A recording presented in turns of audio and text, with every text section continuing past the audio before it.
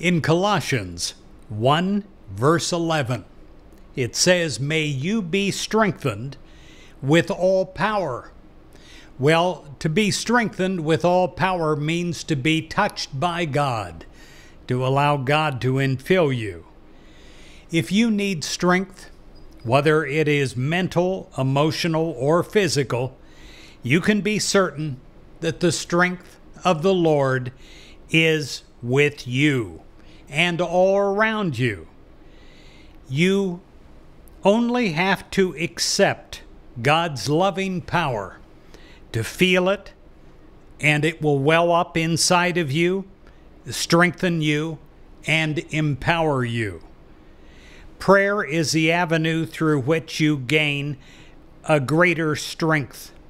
And as you pray this prayer, I am strong in the Lord and in the power of God's might. You hold on to those words and you find that strength replaces weakness. I am strong in the Lord and in the power of God's might. You find that you can easily say no to some habit or, or attitude that you have long wanted to release.